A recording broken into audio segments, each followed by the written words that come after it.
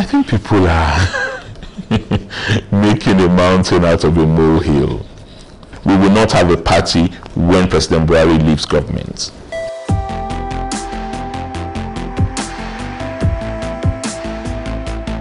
I think people are making a mountain out of a molehill.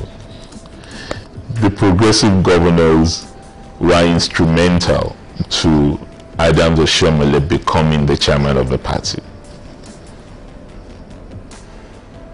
He was their colleague. They worked together. Adams and I were governors the same time before I went on sabbatical and he continued with the second term in office. He's also my personal friend. I'm not the chairman of the Progressive Governors Forum, but I'm an active member of the Progressive Governors Forum. And I don't think there's a single view about the leadership of the party in the Progressive Governors Forum. I think there's a clear view that the party can do a lot more than it has done.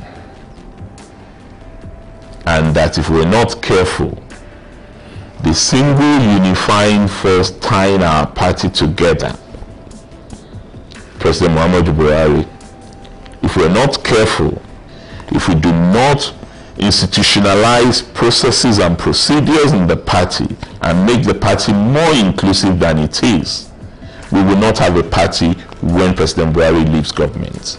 So is the national chairman opposed to this position? I have not suggested uh, any stretch of imagination or in any way that is opposed to it. I am saying that governors are very interested in the party becoming organic, not just as an election vehicle. Because it is when the party is organic that it can outlive the present uh, um, support we're enjoying because we have a president who has his own personal popularity and whose personal popularity has helped our party up to this point. And I would imagine that one of the strong legacies that our president and party leader would want to leave behind is that this party continues to grow in leaps and bounds even when he is no longer in office.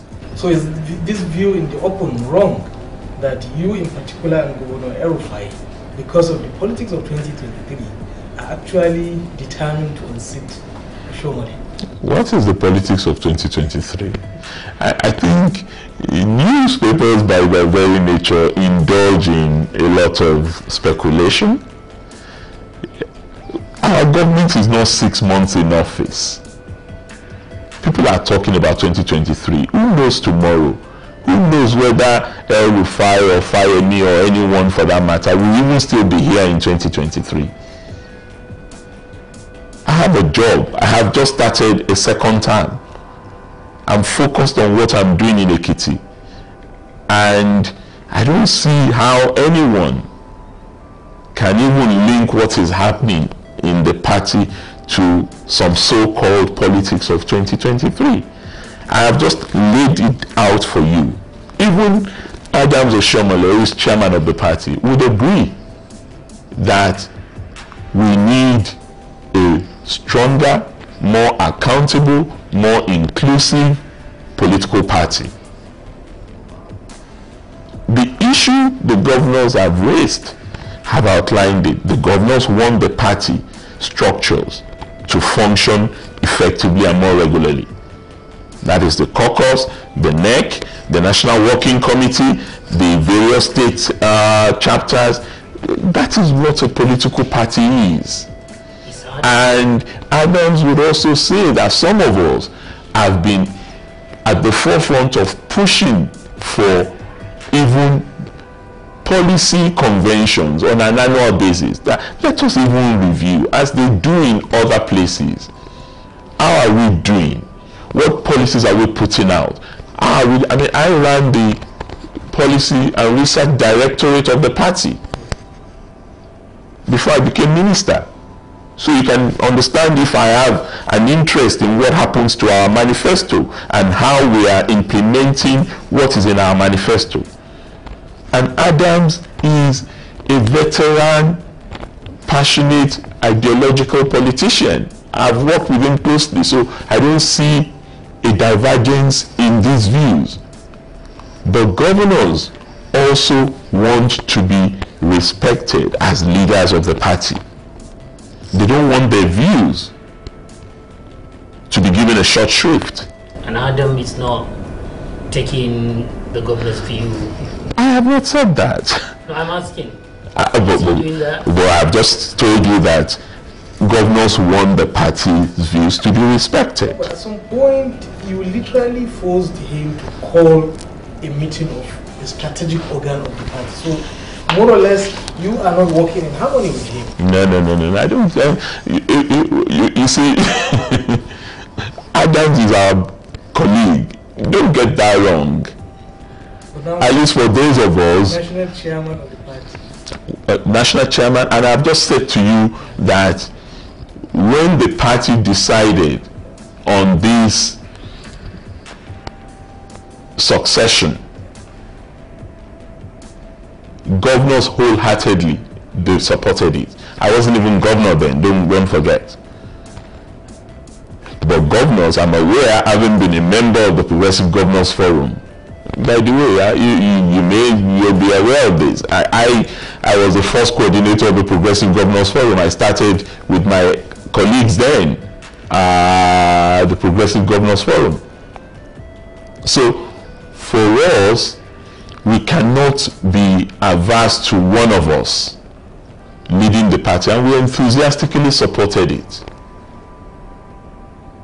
But is he the right person now to lead, to continue to lead the party to the next level? Well, that's a matter for the party organs to decide. So you personally, because you know him, you have known him for quite a long, you broke with him, do you believe in his capacity to continue to lead? Capacity, absolutely. So Adams, you Adam, think he should Adams has capacity. Adams has very strong credentials. Continue to But as with every human being, Adams also has very strong weaknesses. We all do. Can he, is he, do you think he has the ability to continue to lead APC? I don't want us to The, uh, the I don't- governors want? I don't want us to reduce this to personal opinion because it really doesn't matter whether what I think is immaterial as an individual. What is important is is this is this the state we want our party to be? If it is not the state we want our party to be, what can we do to improve lot of our party? What can we do to energize our base? that is quite frankly at the moment unhappy with a lot of things.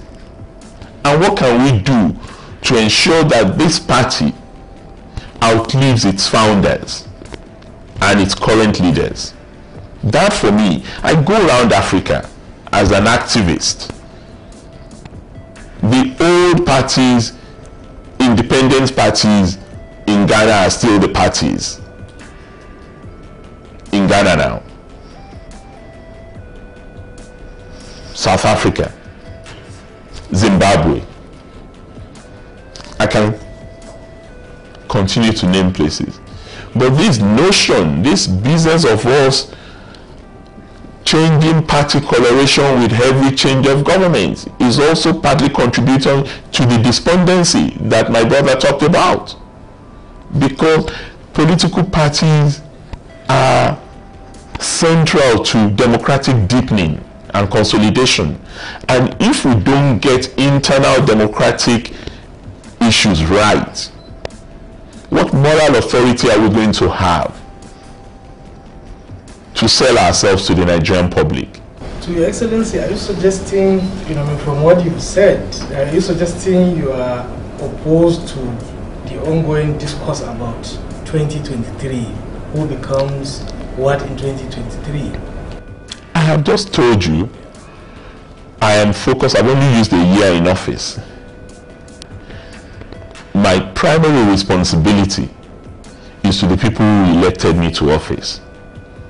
I have a secondary responsibility as the chairman of the Nigerian governors. And in that position, my duty is to ensure that I protect, promote, and defend governors.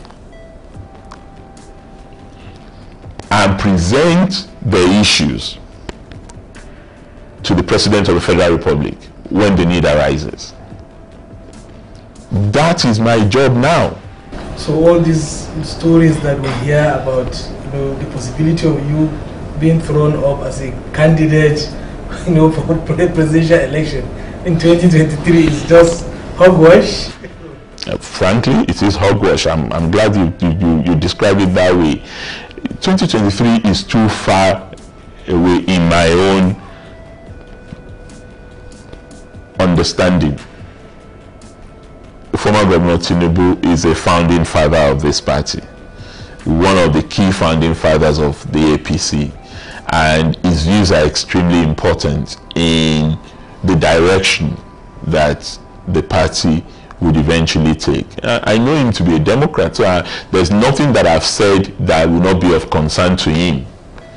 The unity of the party, the need for the party to become more organic, the importance of inclusiveness in the party, and ensuring that the organs of the party function effectively. I don't see Asiwaju Bola Ahmed Tinubu opposed to any of this because it's, it's, it's I, I've worked with him way before APC. I worked with him in Nadeco. I worked with him in my days as a young activist. He's a mentor of mine and my leader. So there's no conflict. But the fact that we necessarily agree on what the issues are and what the uh, challenges the party is facing are do not necessarily mean that all of the solutions can be preferred by just one individual. And that's why I said, don't let's reduce this to my personal views. It's important to take the aggregate of the collective views of party people, leaders and members alike. Because this is not a party of leaders. This is the party of change. There are things we promised Nigerians when we came into office. The reason why I ask this is because the last time you went uh, to meet the president about the party issues, the governors were divided, and we understand that some people who supported Adams Ochimele were kind of like people who have more close relationship with Ahmed Bola Tinubu, while others kind of like, so this, that is why I asked this question. Closer relationship? Who has a closer relationship to Asiwaju Bola Tinubu than I? You know relationships develops and kind of like and fades as time goes on. So you guys are you guys are just you're just mischief makers. Explain. Matter of factly, what is your current relationship with Asiwaju? Very good. Yeah. He's my elder, he's my At leader. the time we knew that there was some, you know, some kind of frostiness. There's never been any frostiness in my relationship with Ashwaju. 2014 incidents, I mean, Where were 2014 incidents? when it was, I mean, widely reported that he didn't really give you his support. That's why you didn't get your second term then. Really? That's, that's. I was the candidate of his party. And I'm sure he supported me in the election. So if anybody told you that he didn't give me support, well, I'm hearing that for the first time. You.